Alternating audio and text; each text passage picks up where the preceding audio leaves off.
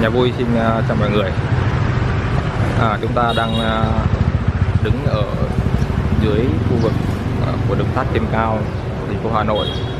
Đoạn chuyển từ đường Nguyễn Trãi vào đường Yên Lãng Công trình được Trung Quốc thi công hơn 10 năm rồi nhưng mà hiện tại chưa hoạt động được nhưng hôm nay chúng ta không bàn chuyện về cái chuyện đường sắt này mà tôi xin mời các bạn đến thăm một cái cầu thang thép con ốc rất đẹp quán cà phê.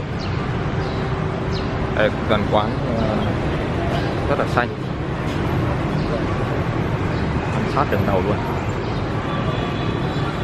Chủ quán rất yêu cây xanh hàng cây ờ, trồng buông xuống rất là đẹp.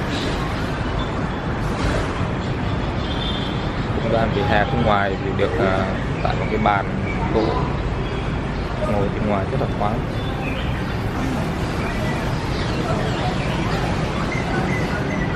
Quán rất thiên nhiên.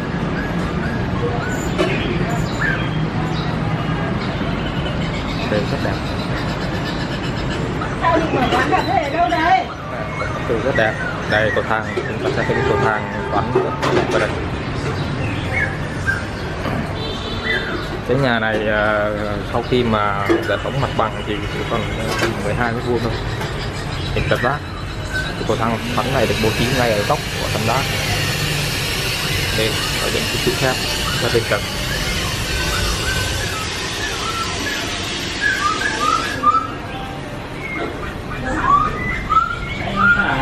Rất đẹp.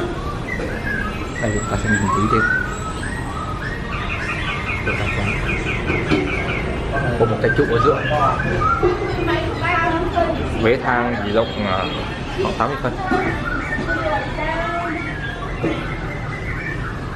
Phòng phía trên thì hiện tại à, đây các bạn không gian nó còn rất là nhỏ thôi một cái bàn nhìn ven.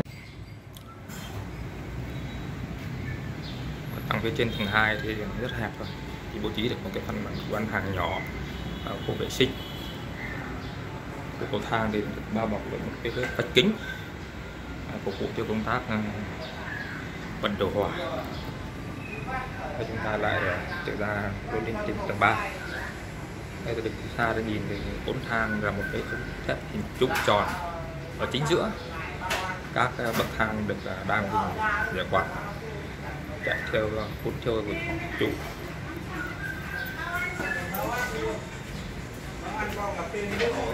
chúng ta sẽ cấu tạo của cái mặt bậc thang này cung xuân thép bậc cổ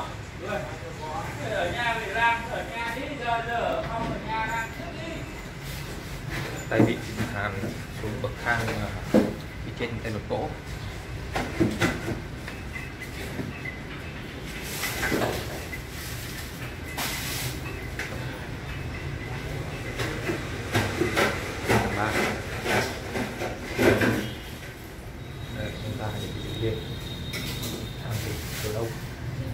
xoay thì rất đẹp.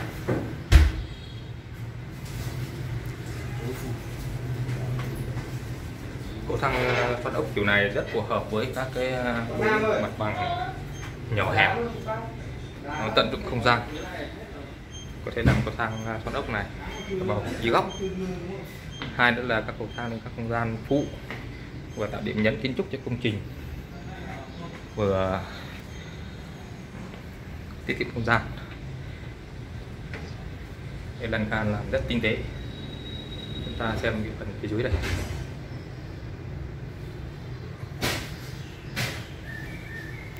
Bố trí rất hợp lý.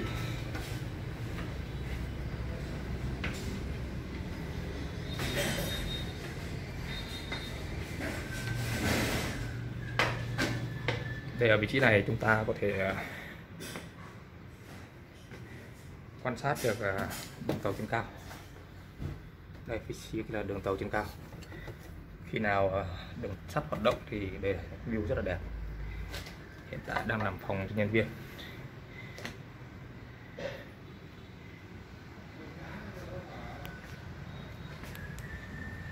Con trên tầng mái rồi. Tầng 4 các bạn.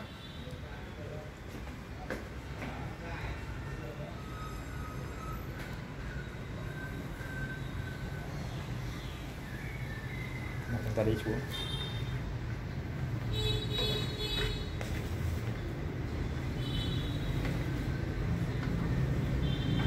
Thang ốc thì chúng ta đi nhanh được. Bởi vì phần chân bước sẽ bước vào cái phần à, bậc to này. Mặt gỗ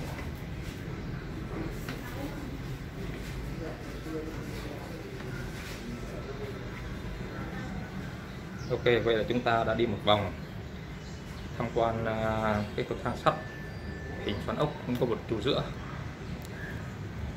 Nhà vui xin à, hẹn gặp lại bạn ở các clip tiếp theo.